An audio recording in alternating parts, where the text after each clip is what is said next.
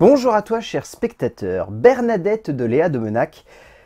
Bah, C'était intriguant en fait comme projet. Euh, bien au-delà de la com qui est peut-être un peu orientée sur le côté décalé de la situation et de la proposition, ça avait l'air d'être aussi très intriguant pour la simple et bonne raison que, bah, comme pour la conquête, euh, Bernadette Chirac est encore vivante.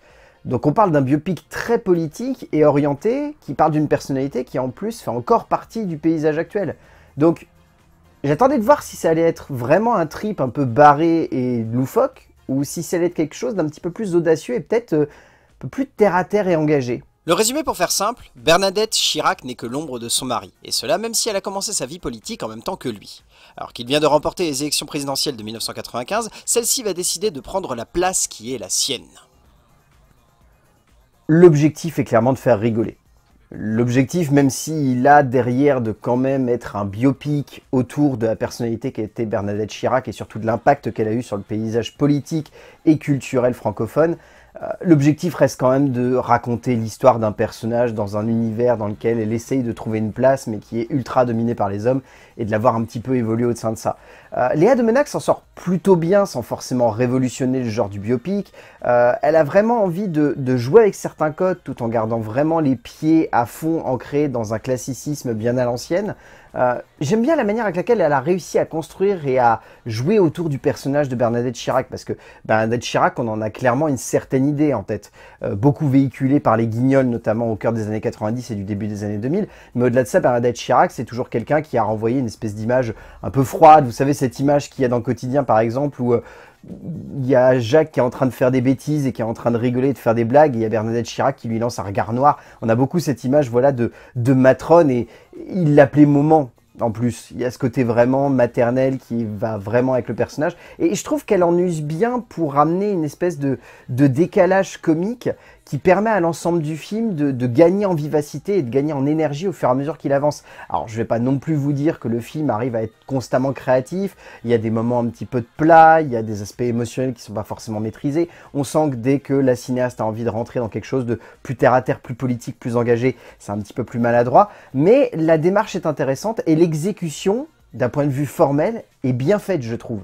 Il est donc complexe, comme évoqué au début, de parler d'une personnalité de façon comique quand celle-ci est encore en vie, même si parfois on peut offrir des portraits surprenants et évocateurs. Mais on se risque aussi à tomber dans une certaine caricature peu subtile et presque proche de la provocation audiovisuelle.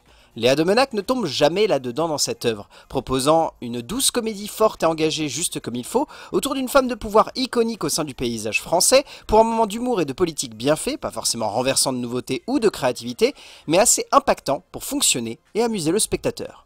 En termes d'écriture, le scénario est écrit par Léa Domenac ainsi que Clémence d'Argent. L'écriture est vraiment orientée dans ce côté, on va dire, très linéaire d'un point de vue temporel, c'est-à-dire que l'objectif est de partir de l'élection de Jacques Chirac en 95 pour ensuite amener Bernadette jusqu'à la fin du deuxième mandat de Jacques pour essayer de construire vraiment un portrait très orienté politique, même si on reste sur l'aspect humain. Euh, le décalage venant surtout dans la composition de la protagoniste centrale, qui est d'en faire une femme dont on a une certaine image, renvoyée de manière plus ou moins cohérente par l'entourage qu'elle côtoie, et le jeu en fait consiste au fur et à mesure que le récit avance à déconstruire cette image pour révéler une nouvelle protagoniste. Donc c'est vraiment le côté caméléon en fait de l'écriture autour de la protagoniste centrale qui est Bernadette qui fait fonctionner le long métrage. Caméléon qui a été vraiment l'élément central de la com puisque l'affiche, je vous invite à la regarder, vous comprendrez rapidement pourquoi j'utilise ce terme.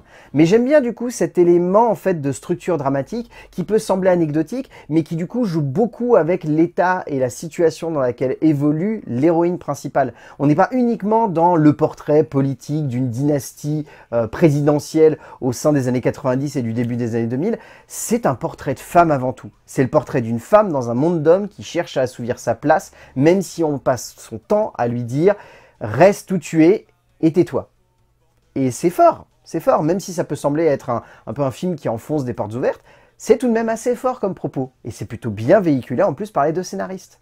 Domenac et D'Argent cherchent le plus possible donc à exploiter les différentes facettes de cette héroïne et de son entourage, mais jouent aussi sur le côté très masculin de la politique, construisant un portrait ne sonnant pas non plus comme trop féministe, mais simplement évocateur quant à la gestion de la politique française.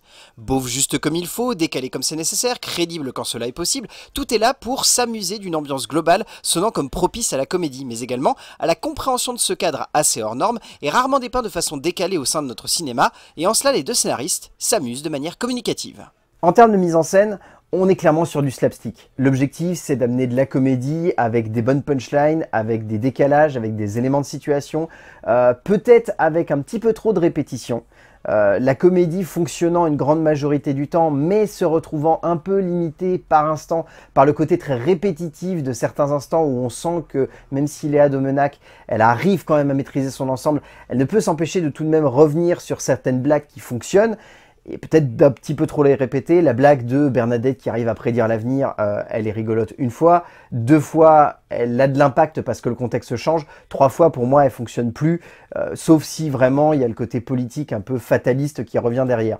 Euh, côté fataliste d'ailleurs qui est souvent ramené parce que même si on est dans un univers où la réalisatrice a envie d'amener du décalage et donc de la comédie, il y a tout de même la réalité et le poids de cette réalité qui est présent. Euh, et c'est d'ailleurs surprenant de la part de ce genre de film, euh, puisque le cinéma de manière générale, on a souvent tendance à dire que c'est un art de gauche.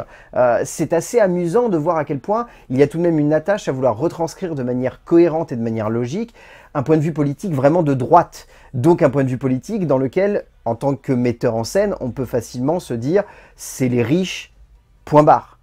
Et j'aime le fait qu'elle amène quelque chose de finalement très humain, très terre-à-terre au travers de sa protagoniste. Et justement, la comédie accompagne cela, avec plus ou moins de subtilité bien sûr, mais elle décide d'accompagner l'héroïne et d'en faire vraiment une femme pas la première dame de France. Ce qui est assez intéressant parce que d'un point de vue cinématographique, c'est un parti pris qui tranche beaucoup avec l'univers dans lequel l'héroïne se trouve et qui amène du coup, par découlement, un nouveau décalage comique. Il y a plusieurs niveaux de comédie finalement dans ce film. Il est évident que le cadre offre donc cette opportunité à Domenac de jouer avec l'idée même que l'on se fait de la politique et de ce cadre masculin, donnant ainsi l'opportunité à son auteur d'amener juste ce qu'il faut de décalage pour faire en sorte que la mise en scène brille par le rythme et la tonalité de son ambiance. Après encore une fois, ces répétitions et l'idée même qui est amenée autour de la situation de l'héroïne poussent un peu la cinéaste à aller dans des directions balisées et cloisonnées d'un point de vue créatif, mais qui donnent tout de même lieu à des moments où l'émotion peut prendre place, où la crédibilité du propos ne perd pas de sa forme, ni de sa force visuelle et esthétique. En termes de casting, celui-ci m'a vraiment impressionné. Euh, déjà, Denis Podalides est vraiment très très bon. Il porte un personnage avec beaucoup de charisme et l'emmène hyper loin. Michel Villermoz est exceptionnel dans le rôle de Jacques Chirac. Je le trouve antipathique comme c'est pas permis et en même temps un petit peu attachant. Le physique de Michel Villermoz est dans beaucoup, je trouve, là-dessus. Sarah Giraudot est également très bien, je l'ai trouvé excellente dans le rôle de Claude. Dans les rôles plus tertiaires, on a Laurent Stocker qui nous campe un Nicolas Sarkozy... Euh, juste merveilleux, avec juste les mimiques qu'il faut pour le représenter. Euh, j'ai beaucoup aimé également François Vincentelli, qui joue un Dominique de Villepin euh, complètement possédé. De manière globale, je trouve qu'il y a une très belle fidélité physique qui est rendue aux personnalités que l'on arrive parfois à reconnaître sans que leur nom ait besoin d'être évoqué. bien évidemment, vous en doutez si on retient ce film, c'est surtout pour son actrice centrale qui est vraiment impressionnante. Catherine Deneuve est juste bluffante dans le rôle de Bernadette, offrant une prestation juste décalée comme il faut, charismatique comme c'est nécessaire, et s'amusant avec plaisir de cette femme politique haute en couleur. Littéralement d'ailleurs. Au bout du compte, Bernadette est un film qui marche.